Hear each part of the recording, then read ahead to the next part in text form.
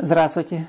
По какой-то причине мы заметили, что наши значки, которые мы хотим на рабочем столе упорядочить, не перемещаются. Почему? Вот берем, он раз и назад убегает на свое место. Решение здесь очень простое. На свободном пространстве экрана рабочего стола нажимаем правой клавишей мыши.